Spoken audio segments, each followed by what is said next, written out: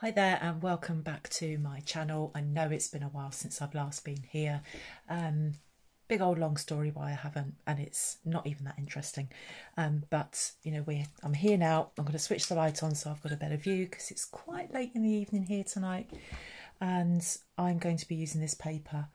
I did start to make a video, cut it all up and then made a massive mistake which I was really cross about. So I've already cut this up.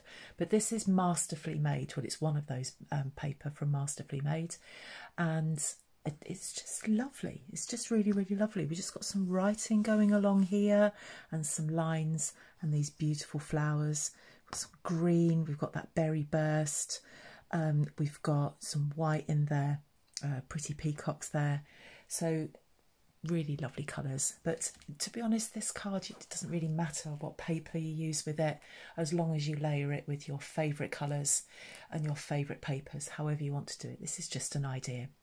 Um, it's an offset gatefold card, which um, I happened to come across on the internet, and it's Elaine's Creations that first drew me to this. I don't know if it was her original idea, but I saw her make it, and I just had to have a go of it myself. So I'll show you what I've done because this is really what I did earlier and I'm really annoyed at myself because the video went wrong. I started off with a piece of card. This is Night of Navy and this measures 10 inches by 7 inches. And I've scored at three and a half inches and eight and a half inches on the long side and then I folded those in. There's our offset gatefold. And then we've got some layers of card. So for the middle, which I'll decorate later, um, I've got a piece of card there that measures four and three quarters by six and three quarters. I'm not decorating these bits. You could if you wanted to. Um, I did think about perhaps putting some, that's quite nice on there. We could have bits of that. Um, might do that in a moment. Um, and then the front of this, I'm layering with some basic white card like that and I'm going to stick it all together in a moment and hope that my glue works. Hopefully you can't hear my husband shouting at the television because the football's on.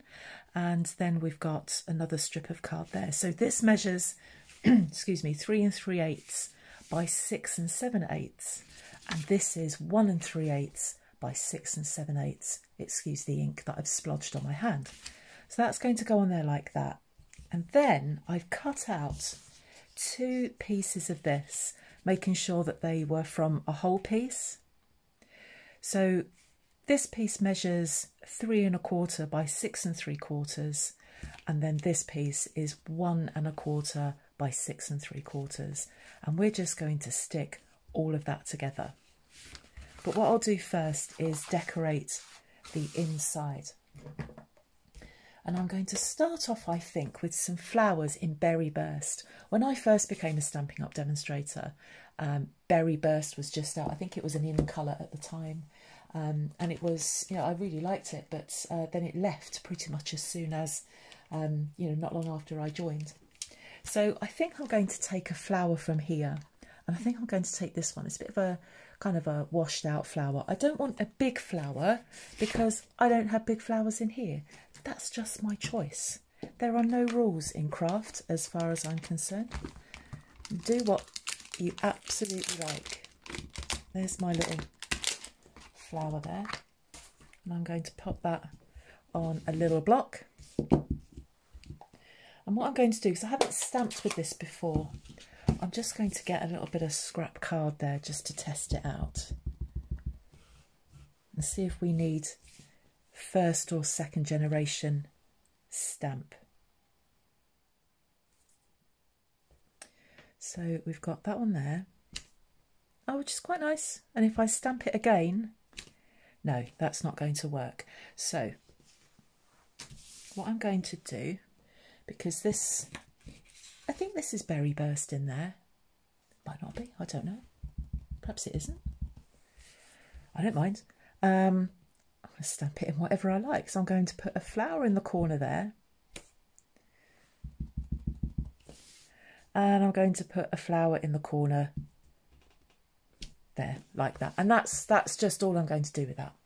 Um, you could decorate it more if you like. Sometimes what I like to do, and I'm not going to do it today, but I do sometimes do it, is I get a strip, a narrow strip of designer series paper and just run it down the side. That's another quite nice thing to do. So that's the inside of my card and I want a birthday sentiment in here and I've got this one from Charming Sentiments called Wishing You the Happiest of Birthdays and I got one of them blocks. This has been used such a lot, this stamp. such a lot. Really stained. Put that on there and I'm going to stamp this in Misty Moonlight. I've missed Misty Moonlight. It was probably my most favourite blue. Even more favourite than Night of Navy. And then I'm just going to line this up in the middle.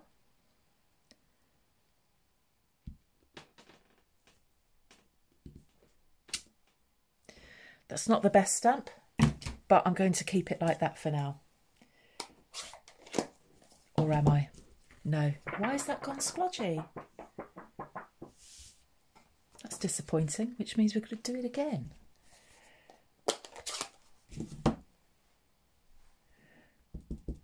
Press too hard. I'm not starting this video again. I'm not doing it for a third time.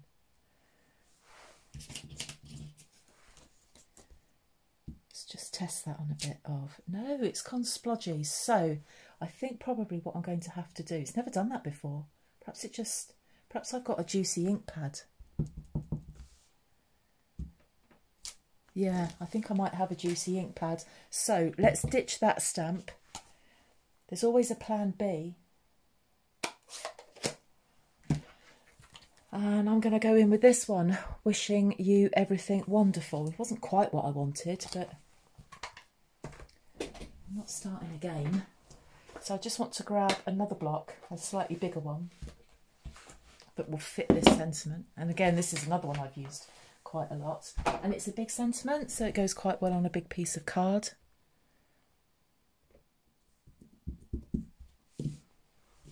And I think I'm just going to be safe and get my Night of Navy out. I think that Misty Moonlight might be a bit on the juicy side and uh, might need to be used more before I get to sentiments. Does that sometimes. So let's put this in the middle here and I'll pop my flowers back on again. Lovely, that's worked. And then I'm going to get my berry burst back out again and we'll stamp it again. That's why we don't stick this down first, in case little mishaps like that happen.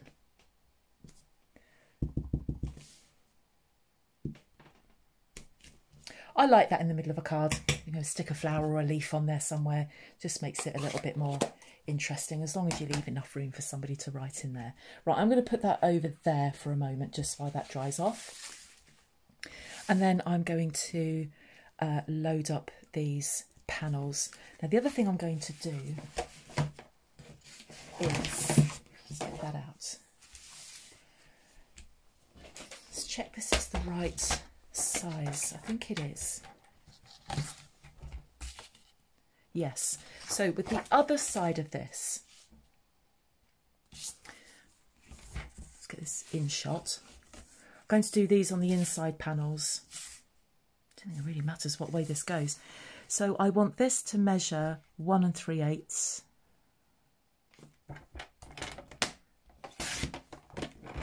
by six and seven eighths. These are just, oh, that's already done. So these are going to go on the inside. So, and this one is going to be three and three eighths. And that's already six and seven eighths. So I've got all of my panels done. Now all I need is a glue that works.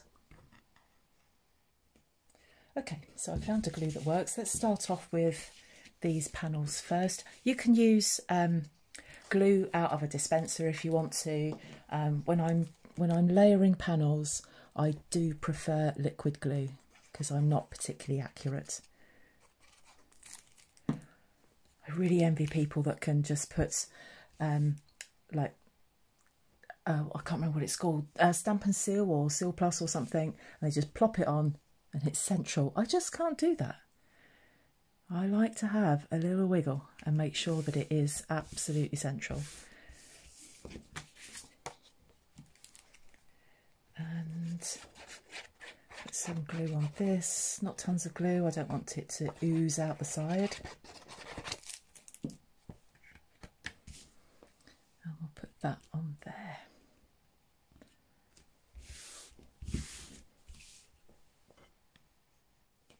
So we'll just leave those to dry off a little bit and we'll start putting the inside together. So I'm going to put that there. I quite like that contrast of the green against the blue. And then it will really contrast against the white as well.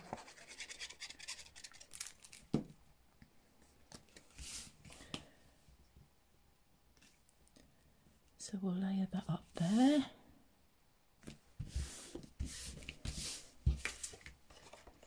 Now this card is part of a, it was a series that myself and my two very lovely crafty friends were doing, Vicky Lou Designs and Crafty Karen Designs. And um, we tried to do a fun fold Friday once a week and it, it just didn't happen after a while. Um, we just found that other commitments were getting in the way. So we're trying to revive it so I wanted to make something that I'd never made before, and that's why I'm doing this offset. So thank you to Elaine's Creations. If I can find a link for her, I'll put the link to her YouTube in the description bar.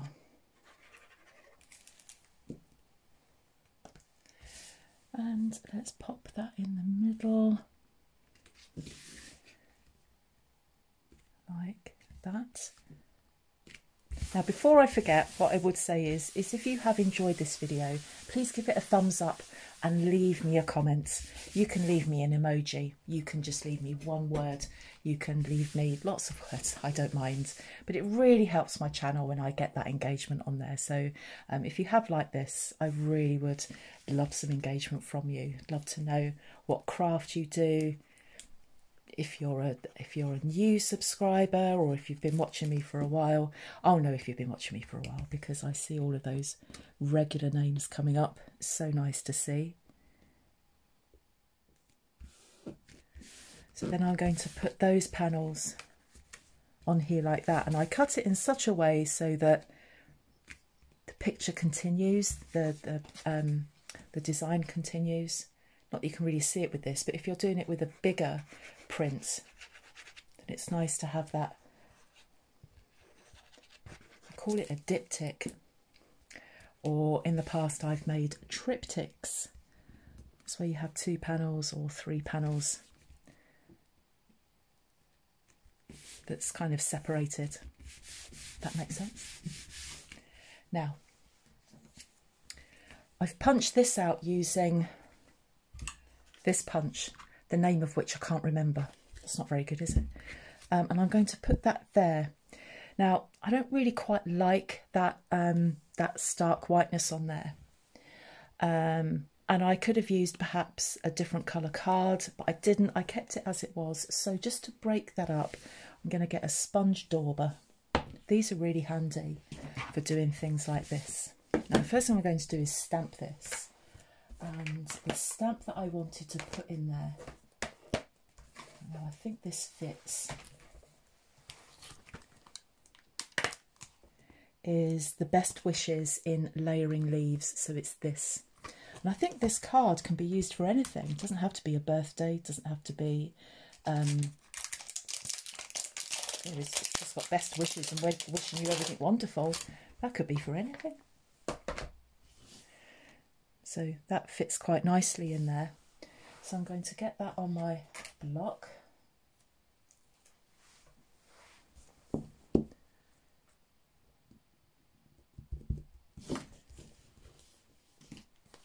And for those of you that stick with me right to the end of my videos, I really can't tell you how grateful I am with, for that.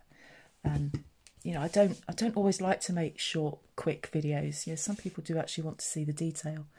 Um, so Thank you if you stick with me to the end. Right, hopefully this will stamp nicely. It's the first time I've used it. Hopefully it's straight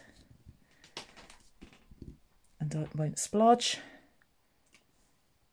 That's not bad. That's not bad. I think that's just the ink that's a bit new. So I'm going to pick that up very carefully and I'm going to get my sponge dauber and I'm going to dip it gently into the ink pad. And then I'm just going to scrape that on the sides or on the edge of that card. And what it does, it just breaks that white up a bit. It makes it less, less, I don't know, stark, less pronounced. It gives it a bit of an antique finish as well, which I quite like.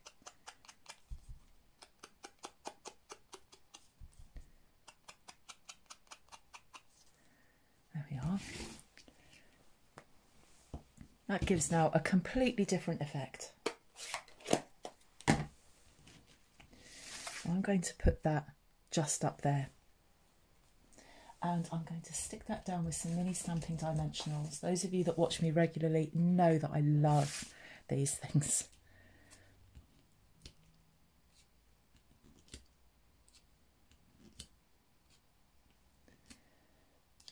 Right, we're nearly finished with this. All I want to do now is put some ribbon on this card. Let's just get the backing off these. I've got to get it finished because I've got to go outside and water my plants. It's been quite warm today and there is just a little bit of light left outside. So let's get this finished. So let's put our best wishes sentiment up the top there. And you could put some embellishments on there if you wanted to. I'm going to finish this card off with some ribbon. And what I'm going to do is just put this panel on the back, which is actually not the right size. That's, that's clever. Let's just trim this down. So this is about one and a quarter inches, which doesn't matter. Um, and the width of it needs to be five and three quarters, or uh, not five, sorry, not five and three quarters. I'm doing four and seven eighths.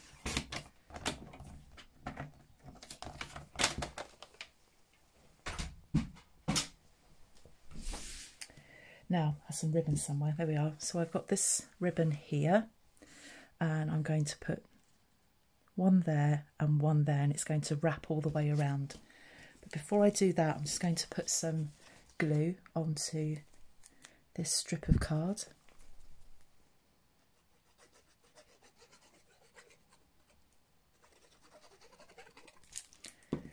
And then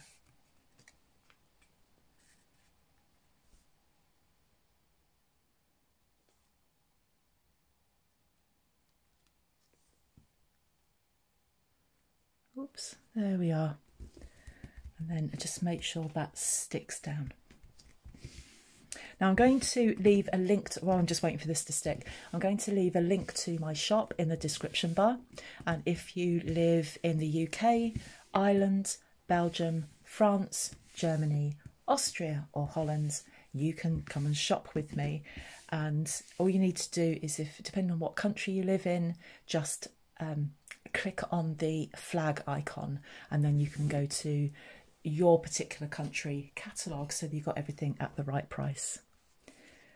So let's turn that round and then what I'm going to do is just tie this into a bow. Now again, those of you that know me know that I don't do very good bows. I'm going to give it a go, but probably what I would do off camera is just fiddle about with it a little bit to make it look nice. I kind of feel the pressure on now because the camera's rolling. It's not going to go. It's not going to go. I'm going to have one more go. But I'm just now, you might sense it, I'm just now starting to panic that I can't tie a bow when I've got the camera rolling. I bet you're all far better at bows than me. Why did I pick a project with a bow on it? There we are. That's pretty rubbish, isn't it? But I would have a bit of a play about with that before I sent it. But I think you kind of get the drift of that. So that is an offset gatefold card using, I've forgotten what it's called again, masterfully made designer series paper with basic white card. Night of Navy cardstock. And we've got Berry Burst, uh, Night of Navy ink, Berry Burst ink, and we use the Layering Leaves stamp set. And I also used the Charming Sentiment stamp set as well. So I hope you like this. If you did, please give me a subscription if you don't already subscribe um, and hit the thumbs up and if and leave me a comment i would really love that it'd be lovely to hear from you thank you ever so much for joining me and i'll be back again soon bye bye